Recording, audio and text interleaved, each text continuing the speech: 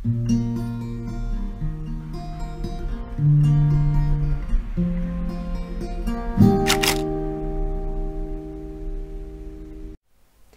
Freunde, in letzter Zeit ist mir etwas aufgefallen.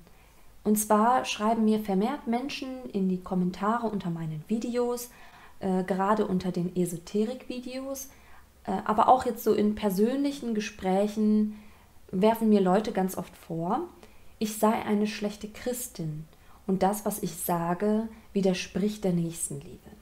Ich habe ein bisschen darüber nachgedacht und merke, in letzter Zeit, in unserer heutigen Zeit, wird der Begriff der Nächstenliebe inflationär gebraucht. Die wenigsten Menschen wissen eigentlich noch, was Nächstenliebe ist.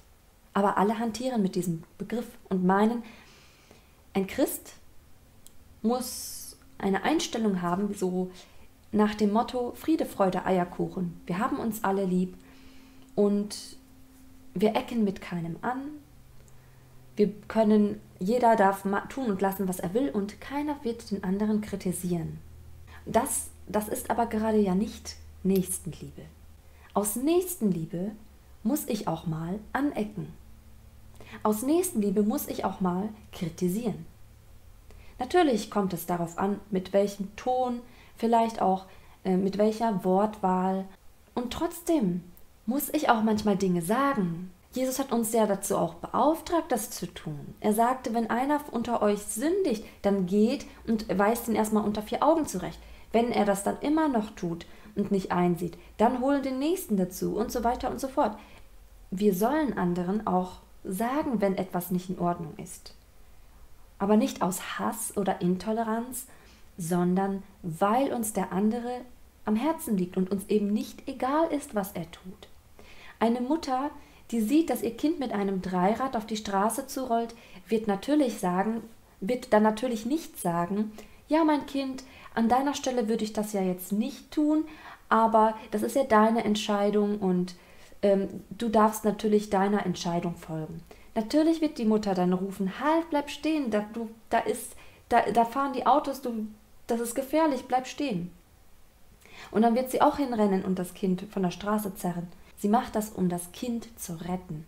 Und wenn wir als Christen sehen, dass unsere christlichen Geschwister sich auf einen Abgrund zubewegen und in Gefahr sind, dann müssen wir das auch sagen.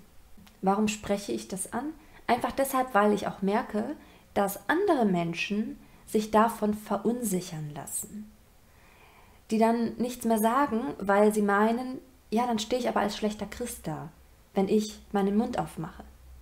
Und dabei ist das ja sowas wie, es gibt ja auch Zivilcourage. Wenn wir einen Unfall beobachten, dann sollen wir dorthin gehen und erste Hilfe leisten und einen Krankenwagen rufen und so weiter. Und das, da, das, da machen wir uns ja auch strafbar, wenn wir davon wegsehen. Und so haben wir als Christen auch eine Mitverantwortung auf seelischer Ebene. Das betrifft genauso das Leben des anderen, noch viel mehr, denn hier geht es um das ewige Leben. Und wenn wir dann einfach darüber hinwegsehen und sagen, ach, Hauptsache ich mache das nicht und ich weiß, das ist eine Sünde und wenn der andere dann das anders sieht, ja, was soll ich da tun? Wenn wir jemanden darauf aufmerksam machen und er oder sie entscheidet sich trotzdem dafür, diese Sünde weiterhin zu tun, ist das eine andere Geschichte. Dann können wir auch irgendwann, wenn wir merken, dass wir äh, auf Unverständnis stoßen, einfach nur noch für diese Person beten. Und vor allem, Worte sind wichtig und wir müssen das auch sagen, aber selber ein Beispiel zu sein. Wie oft erleben wir, dass all das Predigen, sage ich jetzt einfach mal, nichts gebracht hat, aber das Lieben, das Vorleben den Menschen letztendlich überzeugt hat.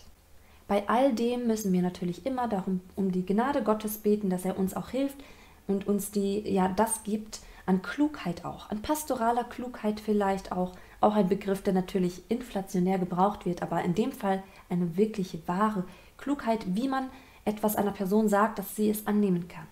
Und dass er uns trotz allem Barmherzigkeit schenkt. Dass auch wenn wir sehen, dass etwas nicht gut ist, wenn eine Person trotzdem daran festhält, die Person trotzdem so lieben, wie sie ist, für sie beten und für sie da sind und sie begleiten auf dem Weg zur Umkehr. In diesem Sinne wünsche ich Ihnen alles Gute, Gottes reichen Segen, seien Sie behütet und beschützt.